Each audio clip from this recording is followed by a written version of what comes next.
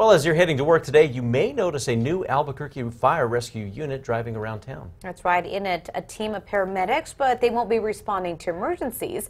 They're making home visits. News 13's Sarah Yingling joins us now from Fire Station 1 in downtown Albuquerque to tell us why and how this will benefit you. Good morning, Sarah.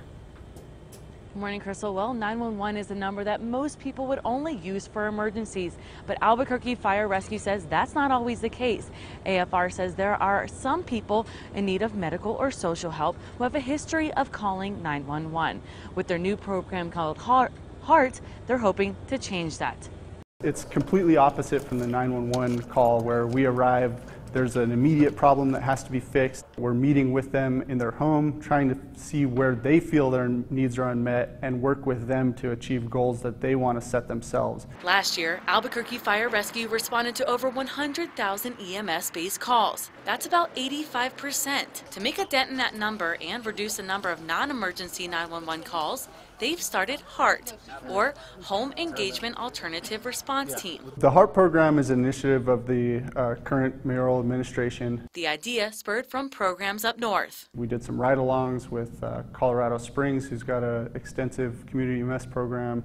We also rode along with uh, Santa Fe. They now have their own team, comprised of AFR paramedics who are also certified community health workers. Their day starts by planning what patients they will visit. Patients are selected through AFR's database. And we try to look to see what, what type of things people are activating 911 for, uh, and we also look at uh, how frequently they're activating. During the planned visit, the team's job is to evaluate the patient's situation and gather information in order to get them the most appropriate avenue of care. And they communicate with them, they engage uh, other care providers, other their insurance providers, their primary care physicians, uh, emergency room physicians, uh, mental health providers, um, working with the uh, police department's mobile crisis teams. The team will also help some patients prevent accidents before they happen by taking a look at their homes to make sure tripping hazards are taken care of. They will also help those with drug addictions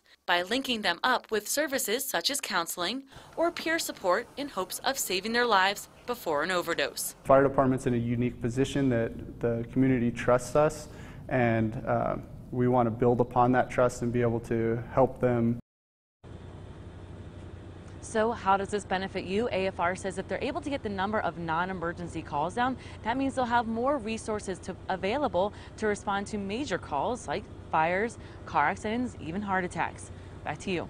All right, thanks so much, Sarah. AFR says they hope to see at least a 50% reduction in non-emergency calls over the next year.